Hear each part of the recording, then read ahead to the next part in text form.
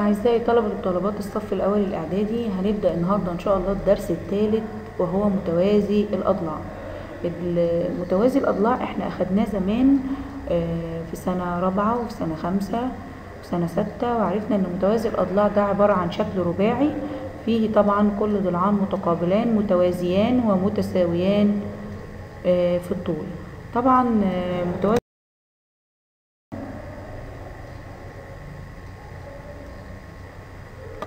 نبدأ كده مع بعض. متوازي الأضلاع. متوازي الأضلاع هو شكل رباعي فيه مجموعة من الخواص. أولها إن كل ضلعان متقابلان متوازيان زي الشكل اللي قدامي ده. هلاقي إن ألف د يوازي باء جيم ويساويه في الطول. كمان ألف باء هيوازي د جيم ويساويه في الطول. يعني الشكل الرباعي اللي فيه كل ضلعان متقابلان متوازيان ومتساويان في الطول كان بيسمى ده متوازي الأضلاع. تاني حاجة إن كل زاويتان العنصر الثالث أو الحاجة الثالثة في متوازي الأضلاع إن كل زاويتان متقابلتان كمان متساويتان في القياس. يعني زاوية ألف قياسها هيساوي قياس زاوية جيم وقياس زاوية باء هتساوي قياس زاوية د. كل زاويتين متقابلتان قدام بعض. كده؟ متساويتان في القياس.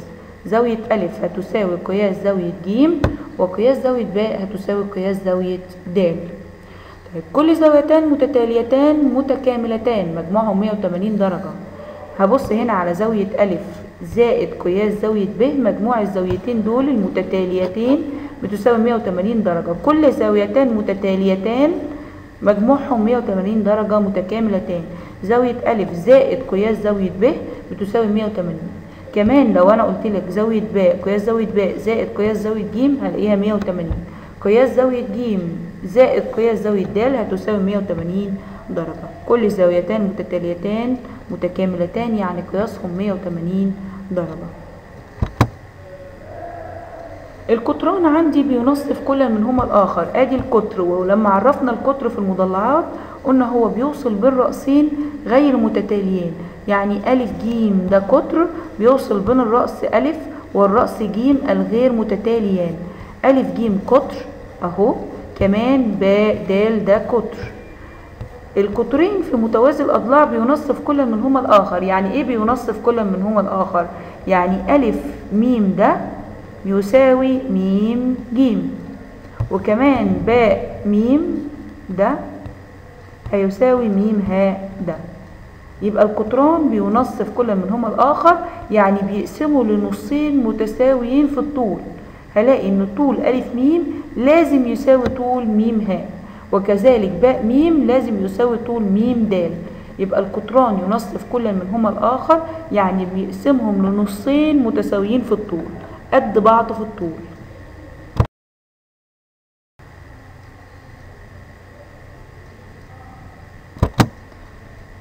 في الشكل المقابل اللي عندي آدي الشكل اسمه ألف ب ج د ده عبارة عن متوازي أضلاع. عندي طول ألف باء بخمسة سنتي آدي ألف باء بخمسة سنتي وعندي باء ج بتمانية سنتي باء ج بتمانية سنتي وقياس زاوية باء خمسة وتلاتين درجة. عايز يوجد قياس زاوية ج مش عارفاها وعايز أجيب محيط متوازي الاضلاع طبعا ده سهل جدا وأخدنا زيه في سنة ستة كتير. إحنا قلنا إن كل زاويتان من خواص متوازي الاضلاع إن كل زاويتان متتاليتان مجموعهم 180 درجة. اذا قياس زاوية باء زائد قياس زاوية ج المفروض إنهم بيساوي 180 درجة. ما دام عندي باء ب 135 هطرح 180 ناقص 135 عشان أوجد قياس زاوية ج وبعد كده أجيب محيط متوازي الاضلاع بس الكلام ده إحنا لازم نجيبه بشكل برهان. إحنا أخدنا إزاي بنعمل البرهان؟ إزاي بنجيب معطيات ومطلوب وبرهان؟ طبعا المعطيات والمطلوب المعطيات بتاعتي إن ا ب ج د ده متوازي اضلاع وإن ا باء بتساوي 5 سم وإن باء ج بتساوي 8 سم وإن قياس زاوية باء ب 135 دي المعطيات بتاعتي.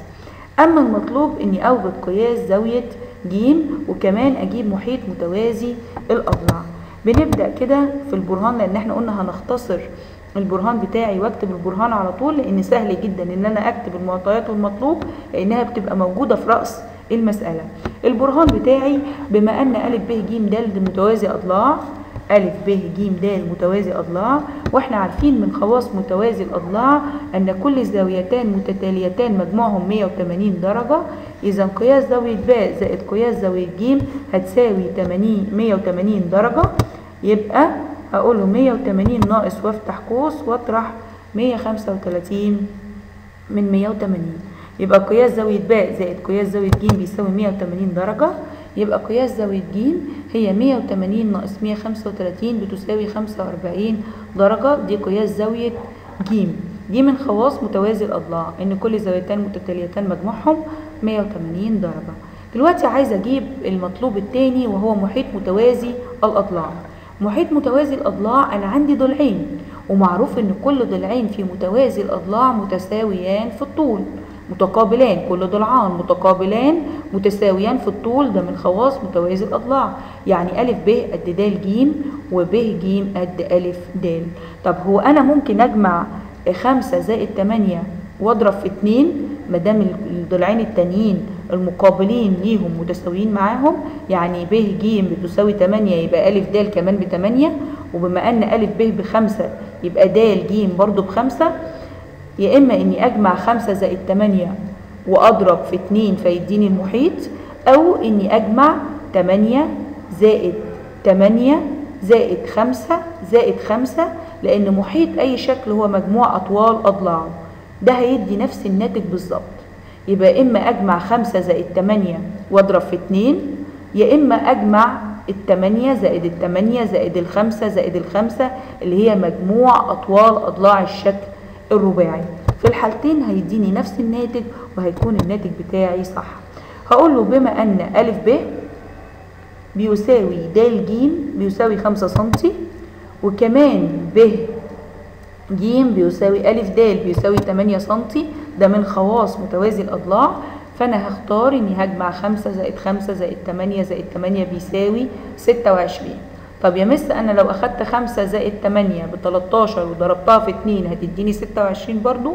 طبعا هتديك 26 اللي هاخد ضلعين منهم أجمعهم ضلعين المختلفين اللي هم 5 و8 أجمعهم وأضرب في 2 هتديني 26 أو أختار الجزء اللي بيقول إن محيط أي شكل هو مجموع أطوال أضلاعه فهجمع ال 5 وال 8 الخمسة 5 والخمسة 8 يبقى 26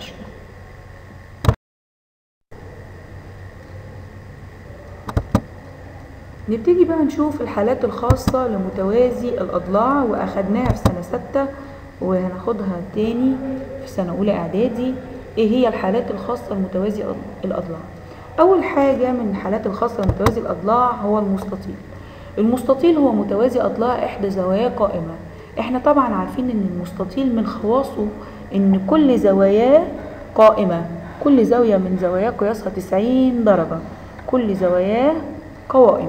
يبقى المستطيل هو عبارة عن متوازي أضلاع ولكن إحدى زواياه قائمة. بتيجي أكمل كتير بيقول لي المستطيل هو متوازي أضلاع إحدى زواياه نقط. إحدى زواياه قائمة. أو يقول لي نقط هو متوازي أضلاع إحدى زواياه قائمة. مين؟ المستطيل. برافو. طيب الحالة الثانية إزاي نعرف خواص المستطيل؟ خواص المستطيل إحنا أخدناها في سنة رابعة وفي سنة خمسة وفي سنة ستة كمان. المستطيل له مجموعة من الخواص به جميع خواص متوازي الأضلاع بالإضافة إلى مجموعة من الخواص وهي إن جميع زواياه قائمة 90 درجة. يعني هو ليه خواص المتوازي من إن كل ضلعان متقابلان اللي إحنا قلناها في الأول خالص. إن كل ضلعان متقابلان متوازيان ومتساويان في الطول. وإن كل زاويتان متقابلتان متساويتان في القياس وإن كل زاويتان متتاليتان مجموعهم 180 درجة وإن القطران ينصف كل منهما الآخر. بالإضافة بقى إن في حاجات زيادة تخص المستطيل إن في المستطيل جميع زواياه قائمة. مش إحنا عارفين إن كل زوايا المستطيل متساوية كل واحدة منهم ب 90 درجة؟ طب جميل. الحاجة التانية إن القطران في المستطيل متساويان. وده طبعا مش موجود في متوازي الأضلاع. متوازي الأضلاع القطران غير متساويان لكن في المستطيل القطران متساويان. يبقى المستطيل له جميع خواص المتوازي ولكن بالإضافة إلى حاجتين إن جميع زواياه قائمة بتسعين درجة وإن القطران فيه إيه؟ متساويان. التانية نشوف الحالة التانية من الحالات الخاصة لمتوازي الأضلاع. المعين. المعين هو متوازي أضلاع فيه ضلعان متجاوران متساويان. إحنا عارفين إن متوازي الأضلاع الأضلاع بتاعته مش متساوية كلها في الطول. لكن كل ضلعان متقابلان مالهم متساويان ومتوازيان. فهو بيقول لي إن المعين هو متوازي أضلاع ولكن فيه ضلعان متجاوران يعني جنب بعض متساويين في الطول. تمام؟ كل ضلعان متجاوران متساويان في الطول في المعين. ده لأن من خواص المعين إن أضلاعه كلها مالها كانت متساوية في الطول. يبقى هنا عندي المعين هو متوازي اضلاع فيه ضلعان متجاوران متساويان في الطول. بيجي يقول نقط هو متوازي اضلاع فيه ضلعان متجاوران متساويان. كده يبقى إحنا عرفنا إنه مين؟ المعين. طيب المعين ليه مجموعة من الخواص هي نفس خواص متوازي الأضلاع بالإضافة إلى. به جميع خواص متوازي الأضلاع بالإضافة إلى أن جميع أضلاعه متساوية في الطول. دي أحد أهم خواص المعين أن أضلاعه جميعها متساوية في الطول وأن القطران فيه متعامدان وبينصفان زواياه. يعني القطران متعامدان وبينصفوا زوايا الرأس يعني بيقسموا زوايا الرأس إلى زاويتين متساويتان. في القياس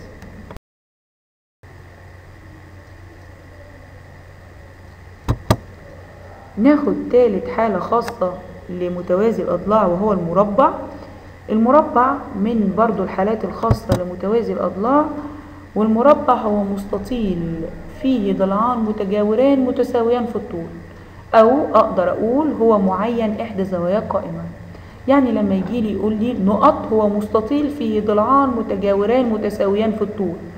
ما هو المستطيل؟ كل زوايا قائمة. كمان المربع كل زوايا قائمة. أصبح الفرق ما بينهم في الأضلاع. فلما المستطيل الضلعان بتوعه المتجاوران اللي جنب بعض يتساووا في الطول أصبح كل أضلاعه متساوية في الطول يبقى في الحالة دي أصبح مين؟ مربع. يبقى المربع هو مستطيل. ولكن فيه ضلعان متجاوران جنب بعض متساويان في الطول. كمان المربع هو معين ولكن إحدى زواياه إيه؟ قائمة. معروف إن المشترك بين المربع والمعين إن الاتنين أضلاعهم متساوية في الطول. جميع جميع أضلاعهم متساوية في الطول سواء في المربع أو في المعين. طب الاختلاف كان في إيه؟ كان في الزوايا. إذا المربع هو معين ولكن إذا كان أحد زواياه إيه؟ قائمة. ما هو معنى إن أحد زواياه قائمة؟ يبقى كل زواياه قوائم يبقى إذا أصبح مربع. يبقى المربع هو معين إحدى زواياه إيه؟ قائمة. المربع هو معين إحدى زواياه قائمة. من خواص المربع دي جميع خواص متوازي الأضلاع والمستطيل والمعين. عنده جميع خواص الأشكال التلاتة. بالإضافة بقى إلى الحاجة اللي بتخص المربع إن الزاوية المحصورة بين الضلع والقطر في المربع بتساوي 45 درجة بالإضافة لجميع خواص متوازي الأضلاع والمستطيل والمعين اللي هي تمثل خواص المربع اللي موجود فيه جميع خواص المتوازي والمستطيل والمعين بضيف كمان على الخواص دي إن لما بيكون في القطر في المربع بيعمل إيه مع الضلع. المجاور ليه بيعمل معاه زاوية قياسها 45 درجة. هو قياس زاوية المربع بكام؟ بتسعين. القطر بيعمل إيه في الزاوية التسعين دي؟ بيقسمها لزاويتين متساويتين. كل زاوية منهم بكام؟ بخمسة وأربعين درجة. يبقى زاوية المربع قياس الزاوية في المربع بتساوي تسعين درجة. القطر بيجي يعمل إيه؟ بيقسم الزاوية. بيقسم الزاوية التسعين دي لزاويتان متساويتان في القياس. فكل زاوية من الزاويتين دول هتساوي خمسة وأربعين درجة. يبقى القطر مع الضلع اللي جنبه بيعمل زاوية خمسة وأربعين درجة. يبقى الزاوية المحصورة بين الضلع والقطر في المربع تساوي 45 درجة.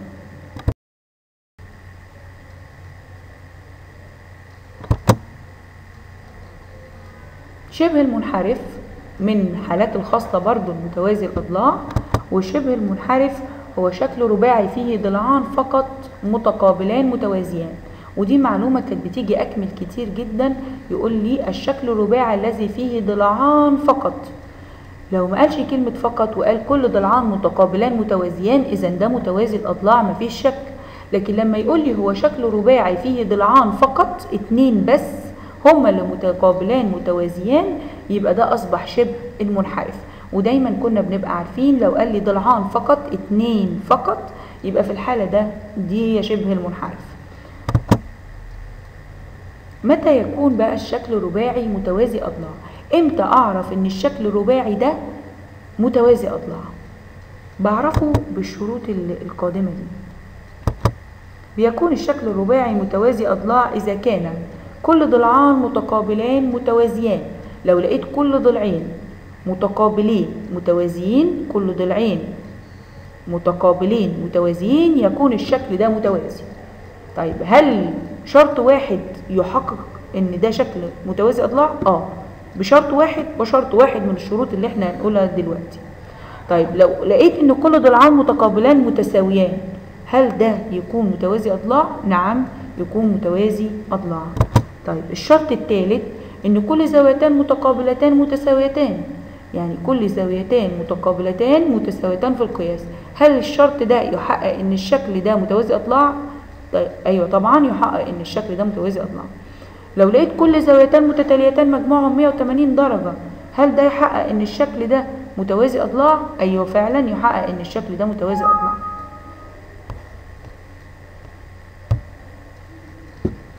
بيحقق إن الشكل متوازي اضلاع طيب كل زاويتان متتاليتان متكاملتان بتساوي 180 درجة. طب كل الحاجات اللي إحنا قلناها دي موجودة في الأشكال كلها في المربع ممكن ألاقيها في المستطيل ممكن ألاقيها في المعين. طيب اشمعنى متوازي اضلاع إحنا قلنا كل الحاجات دي حالات خاصة من متوازي الأضلاع. يعني الأساس مين؟ هو متوازي الأضلاع. ده الأساس. يبقى أي حاجة تتحقق من الشروط اللي إحنا بنقولها دي بتخلي الشكل متوازي أو بتأكد إن الشكل ده متوازي أضلاع. لو لقيت كل ضلعان متقابلان متوازيان يبقى الشكل متوازي أضلاع. لو لقيت كل ضلعان متقابلان متساويان برضو الشكل متوازي أضلاع. لو لقيت كل زاويتان متقابلتان متساويتان في القياس يبقى الشكل متوازي أضلاع. لو لقيت كل زاويتان متتاليتان مجموعهم 180 درجة برضو ده يحقق إن الشكل متوازي أضلاع. النقطة الخامسة لو لقيت القطران ينصف كلا منهما الآخر. وآخر حاجة ضلعين فيهم متقابلان متساويان ومتوازيان. يعني مش شرط كل ضلعان متقابلان متوازيان أو كل ضلعان متقابلان متساويان. لا ده أنا ممكن آخد ضلعين بس أثبت فيهم التوازي والتساوي. آخد في الشكل ضلعين بس بس هثبت لهم إثباتين. أثبت إنهم متوازيان وأثبت إنهم متساويان في الطول. طبعا إحنا عايزين نحقق الكلام ده بأمثلة هنشوفها طبعا دلوقتي عشان نعرف إزاي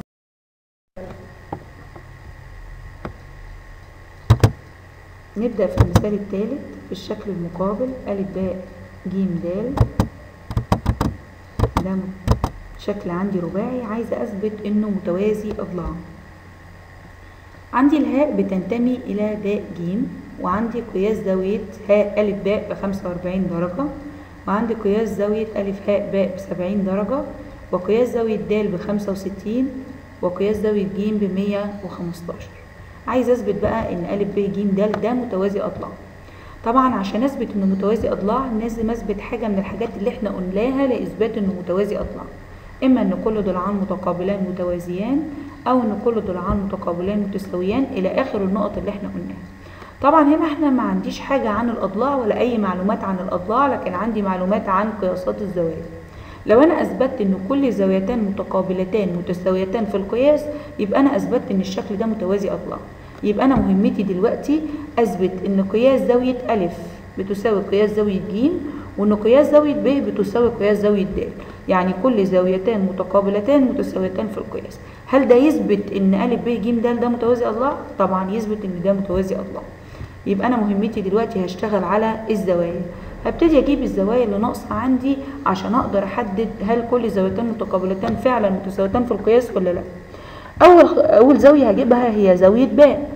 وعندي المثلث ا ب هاء في زاويتين معلومتين زاوية ا ب 45 درجة وزاوية هاء ب 70 درجة. لو جمعت 45 زائد 70 وطرحت من مجموع قياسات زوايا المثلث اللي هي 180 درجة هتديني قياس زاوية باء نبتدي الإثبات كده مع بعض. طبعا ما ننساش المعطيات والمطلوب لازم نكتبها في الامتحان لكن إحنا هنا اختصارا للوقت بنكتب على طول البرهان. المعطيات بتاعتك اللي موجودة في المسألة هاء تنتمي لباء ج وقياس زاوية هاء أ ب ب 45 وقياس زاوية أ باء ب 70 وإن د ب 65 وإن قياس زاوية ج ب 115 دي كلها معطياتي. والمطلوب إثبات أن أ باء ج أ باء ج د متوازي أضلاع ده المطلوب نبدأ بقى في البرهان. أول حاجة بما أن المثلث أ ب ه ده مثلث يبقى مجموع قياسات زوايا بكام؟ 180 درجة. عايزة أجيب قياس زاوية باء هقول له 180 ناقص وافتح قوس أجمع 70 زائد 45 تساوي 65 درجة.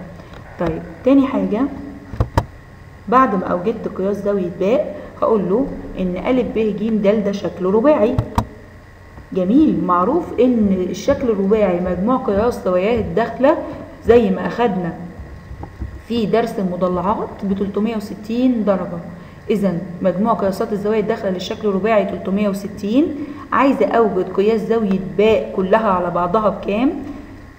هجمع زاوية أنا عايزة أجيب زاوية أ كلها على بعضها بكام؟ فأنا هجمع ب زائد ج زائد د وأطرحها من 360 ب عندي آه جبت أنا ب ب 65 درجة والجيم من المعطيات ب 115 والدال برضو من المعطيات ب 65 هجمع 65 زائد 115 زائد 65 واطرح من 360 عشان يديني زاوية باء أ د اللي هي باء اللي هي زاوية أ كلها.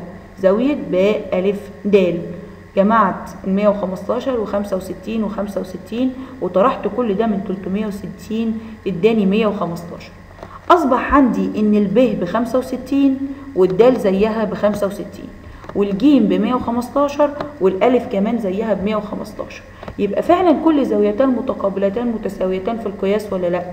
يبقى كده أنا اتأكدت إن الشكل ده متوازي أضلاع.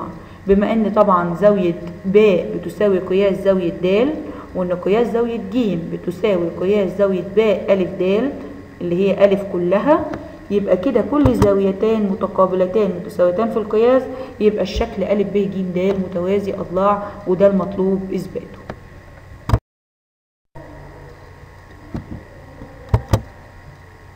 المثال الثاني في الشكل المقابل أ ب ج د ده مربع وأ ج يوازي د ه عايز يثبت إثباتين إن أ ج ه د متوازي أضلاع وعايز كمان يوجد قياس زاوية أ ج ه طبعا أنا لازم أستفيد من ا ب ج د ده مربع ومعروف من خواص المربع إن كل ضلعان متقابلان متوازيان. من إحنا أخدنا خواص المربع وعرفناها كويس. يبقى عندي ا د هيوازي باء ج يبقى كده أبدأ البرهان بتاعي. هقول له بما أن ا ب ج د ده مربع يبقى ا د بيوازي باء ج ده من خواص المربع. ملاحظين إن ب وج وهاء على استقامة واحدة. باء وجيم وهاء اهم شايفينهم مع بعض على استقامة واحدة. طالما إن أ د بيوازي باء ج أقدر كمان مادام كل دول على استقامة واحدة أقدر أقول إن أ د يوازي ج هاء. ما هي نفس الاستقامة. ما هي باء وجيم وهاء على نفس الاستقامة. يبقى أقدر أقول إن أ د بيوازي ج هاء ولا لأ أقدر طبعا أقول إن أ د يوازي ج هاء طيب وبما أن طبعا أ ج بيوازي د ه ده معطى هو مديهوني في المسألة يبقى أنا عندي أ د يوازي ج ه وأ ج يوازي د ه يبقى كل ضلعان متقابلان مالهم متوازيان يبقى أنا أثبتت إن أ ج ه د ده إيه؟ متوازي أضلاع.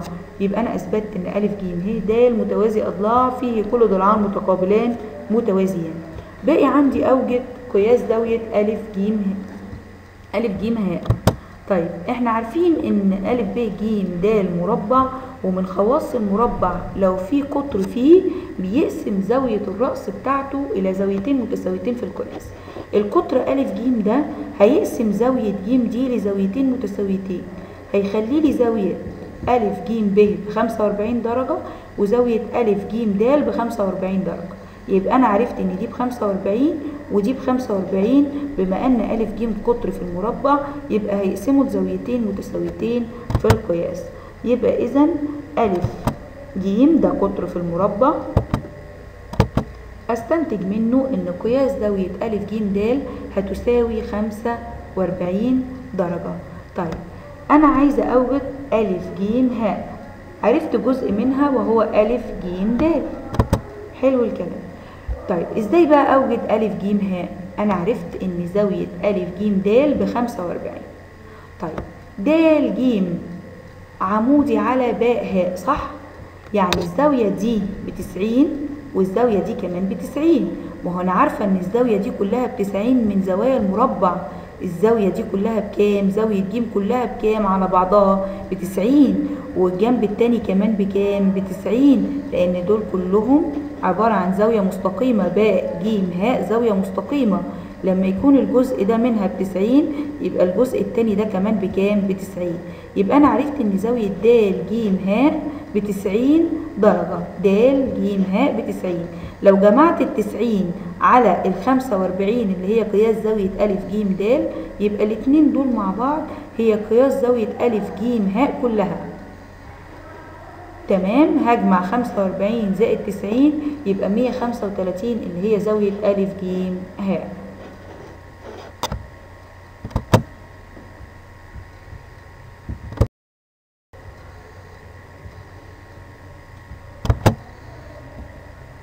هنشوف بعض أسئلة أكمل. السؤال الأول متوازي أضلاع قطراه متساويان. مين متوازي الأضلاع اللي عنده القطران متساويان؟ هو المستطيل. المتوازي لقطراه متساويان في الطول يسمى مستطيل. السؤال الثاني متوازي أضلاع إحدى زواياه قائمة. إحنا قلنا متوازي أضلاع لإحدى زواياه قائمة هو المستطيل برضو برافو. لما يديني متوازي أضلاع وإحدى زوايا قائمة بقول عليه المستطيل. متوازي أضلاع قطراه متعامدان. يا ترى مين متوازي الأضلاع اللي القطرين عنده متعامدان؟ هو المعين. متوازي الأضلاع اللي قطراه متعامدان هو المعين. السؤال الرابع متوازي أضلاعه في ضلعان متجاوران متساويان. عنده الضلعين المتجاورين اللي جنب بعض متساويان. برضه هيكون المعين.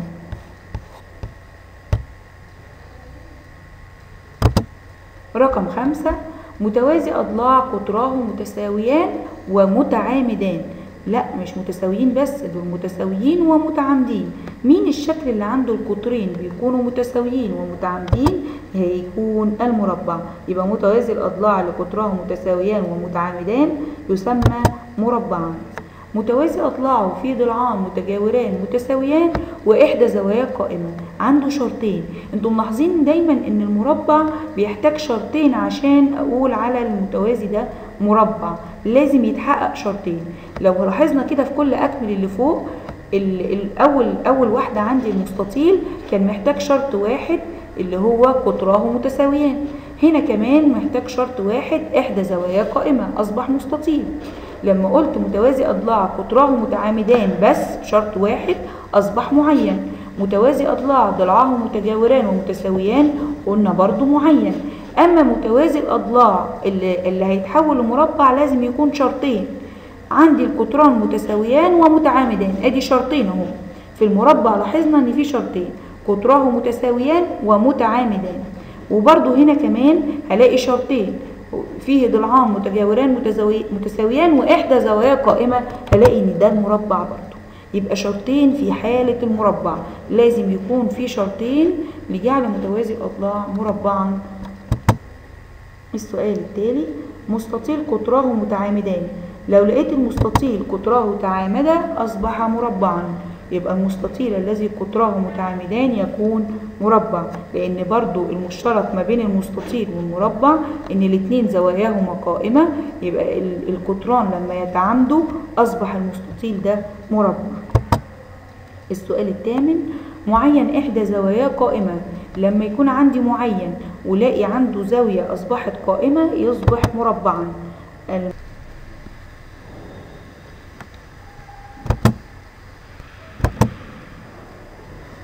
ال- قطر المربع فيهم ثلاث خواص إحنا قلناها. قطر المربع ينصف كل منهما الآخر ومتعامدان ومتساويان. يبقى قطر المربع القطرين بتوع المربع بينصف كل منهما الآخر متعامدان ومتساويان. آه، في متوازي الأضلاع أ ب ج د إذا كان عندي زاوية أ بسبعين وقياس زاوية عايز يجيب قياس زاوية ب طيب أولا أ ب ج د ده متوازي أضلاع وألف وب زاويتان متتاليتان يعني مجموعهم 180 درجة. زاويتان متتاليتان مجموعهم 180 درجة. لو قلت 180 ناقص 70 هيساوي 110 يبقى قياس زاوية ب بتساوي 110 درجة. قياس الزاوية المحصورة بين ضلع المربع وقطره. قلنا لو أنا عندي قطر في المربع ال- ز- قياس الزاوية بتاعت المربع ب 90 درجة. الضلع مع القطر بي بيكون 45 درجة. يبقى ضلع المربع وقطره الزاوية اللي ما بينهم 45 درجة لأن قلت القطر بيعمل إيه في رأس آه، الزاوية؟ بيقس- في المربع بيقسمها لزاويتين متساويتين في القياس كل منها ب 45 درجة. المربع هو نقط إحدى زواياه قائمة. المربع هنا عندي بيكون إيه إحدى زواياه قائمة. يا ترى المربع هو؟ مستطيل إحدى زواياه قائمة.